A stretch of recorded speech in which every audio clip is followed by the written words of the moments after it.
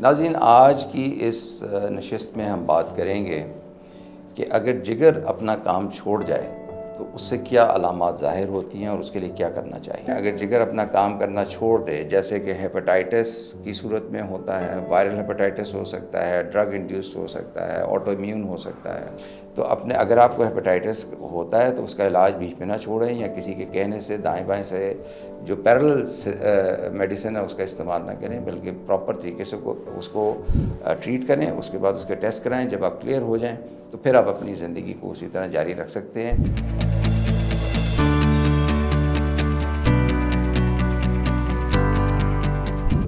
ناظرین، میرا نام ڈاکٹر عاصم اللہ بخش ہے اور میں ایک اسپیشلسٹ فیملی فزیشین ہوں۔ ناظرین، جگر انسان کے جسم کا بائیو کیمسٹ کہلاتا ہے۔ اس کے ذمے قدرت نے بہت سے کام رکھے ہیں۔ یہ پروٹینز کو بناتا ہے، جیسے البیومنس ہیں گلوبلنس ہیں۔ یہ وائٹامنس جو خاص فیٹ سالبل وائٹامنس کو سٹور کرتا ہے آئرن کو سٹور کرتا ہے۔ یہ کاپر کو سٹور کرتا ہے۔ یہ ان فیکٹرز کو بناتا ہے جنہیں کلاٹنگ فیکٹرز کہتے ہیں، جو کسی زخم کی صورت خون بہنے سے کے بعد خون کو روکنے کا باعث بنتے ہیں۔ یہ ہمارے لیے بہت سی ایسی کام کرتا ہے، جیسے کہ ڈیٹاکسیفیکیشن ہے۔ ہمارے جسم میں جتنے فاسد مادے پیدا ہوتے ہیں، یہ ان کو ڈیٹاکسیفائی کرتا ہے۔ ایک تو ان کو نکالنے کا بندوبست کرتا ہے جسم سے، اور دوسرا یہ ان کو نکالنے سے پہلے کم نقصان دہ مادوں میں تبدیل کرتا ہے۔ تو جگر کے ذمے بہت سے کام ہیں، اس لیے جگر کا ایک فعال اور مستعد رول ادا کرنا جسم کی صحت کے لیے بہت سخت ضروری ہے۔ اور دوسری بڑی بات، جیسے کہا جاتا ہے کہ انسانی جسم میں ایک ہی جگر ہوتا ہے۔ دو پھیپڑے ہوتے ہیں، دو گردے ہوتے ہیں، ایک نکال دیں، کچھ فرق نہیں پڑتا، لیکن جگر ایک ہے، اس لیے اس کی صحت کی طرف خاص توجہ دینے کی ضرورت ہے۔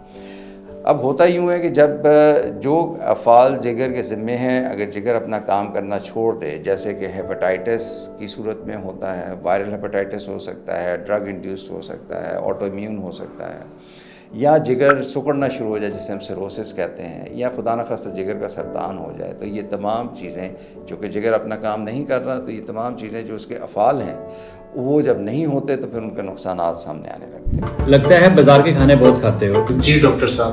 میں یہ میڈیسن پرسکرائب کر رہا ہوں وہ آپ لے لیں۔ اب کوئی بھی مسئلہ ہو تو مرہم سے ڈاکٹر کی آن لائن کنسلٹیشن بک کرو کیونکہ ڈاکٹر سے بات ہوگی اب گھر پر۔ ایک بڑا اس میں نقصان یہ ہوتا ہے کہ آپ کو جو فوری طور پہ آپ جس کو دیکھ سکتے ہیں وہ یہ کہ جسم میں پلاہٹ آنی شروع ہو جاتی ہے، جسے ہم یرکان کہتے ہیں۔ آنکھیں پیلی ہو جاتی ہیں، جلد کا رنگ پلاہٹ مائل ہو جاتا ہے۔ پھر پیشاب کا رنگ گاڑھا ہونے لگتا ہے، جو سٹول ہے اس کا رنگ لائٹ ہو جاتا ہے، جسم پر خارش ہو سکتی ہے۔ پھر اس کے زیادہ سنگین نتائج بھی ہیں ایک تو آپ کی بھوک ختم ہوتی ہے، بلیڈنگ ٹینڈنسیز بڑھ جاتی ہیں۔ اور بعض دفعہ آپ کو خون والی الٹی بھی آتی ہے جسم میں اگر کہیں چوٹ لگ گئی تو خون اس سے بہت بہتا ہے۔ پھر یہ جو البیومن بناتا ہے، جس میں پروٹین کا میں نے ذکر کیا، یہ البیومن جو ہے، یہ آپ کی جب بلڈ میں جاتی ہے تو یہ بلڈ کو شریانوں میں کنٹرول کر کے رکھتی ہے، اس کو اندر رکھتی ہے، پابند رکھتی ہے۔ اگر یہ ختم ہو جائے تو وہ پانی شریانوں سے باہر نکلنے لگتا ہے اور وہ پیٹ میں اپنے سنا ہوگا کہ لوگوں کے پانی بھر جاتا ہے، پاؤں میں، ٹخنوں میں آ جاتا ہے۔ یہ نقصان ہو جاتا ہے گلوبلن نہ ہونے کی وجہ سے آپ کی امیونٹی فال کر جاتی ہے۔ جو فاسد مادوں کو یہ ڈیٹاکسیفائی کرتا ہے، جب وہ نہیں ہوتا تو وہ مادے جو ہیں وہ اسی طرح خون میں گردش کرتے ہیں اور جب وہ برین میں جاتے ہیں تو بلڈ برین بیریئر کراس کرتے ہیں اور اس کی وجہ سے آپ کی جو ذہنی استعداد ہے وہ متاثر ہوتی ہے، بلکہ بعض دفعہ تو آدمی نیم بہوشی میں چلا جاتا ہے۔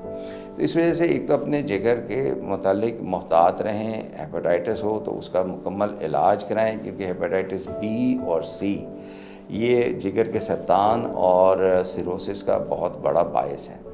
تو اپنے اگر آپ کو ہیپاٹائٹس ہوتا ہے تو اس کا علاج بیچ میں نہ چھوڑیں یا کسی کے کہنے سے دائیں بائیں سے جو پیرل میڈیسن ہے اس کا استعمال نہ کریں، بلکہ پراپر طریقے سے اس کو ٹریٹ کریں، اس کے بعد اس کے ٹیسٹ کرائیں، جب آپ کلیئر ہو جائیں تو پھر آپ اپنی زندگی کو اسی طرح جاری رکھ سکتے ہیں، بغیر اس فکر کے کہ خدا نخواستہ آپ کا جگر کام کرنا چھوڑ دے گا، کیونکہ جگر جب کام کرنا چھوڑتا ہے تو پھر اس کو واپس ڈھپ پہ لانا جو ہے وہ تقریباً ناممکن ہوتا ہے۔